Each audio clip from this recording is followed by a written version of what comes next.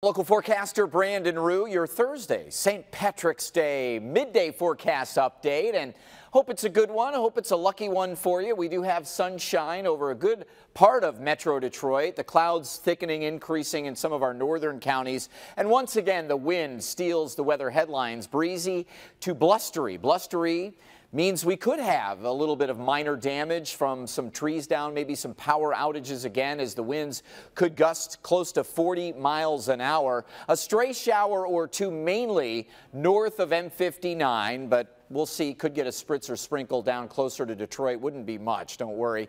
Overnight, 34 degrees. A cooler one headed your way. Now, watch the computer model. A cool front is sagging south, and it does bring shower chances a little closer to home here as we head through the afternoon. Overnight, maybe a couple of flurries and quick showers, but not a main player in the forecast. On your Friday, again, the model calls for a stray shower or two. This would be lake enhanced. We have north winds tomorrow that will make things cooler, especially in our northern counties, and maybe even a couple of, again, early morning flurries and drizzle about the area, but most of your Friday is cooler but dry, mid 30s to mid 40s. The weekend is cooler as well, but it's pretty mild. We'll watch for a chance of a wintry mix on Tuesday.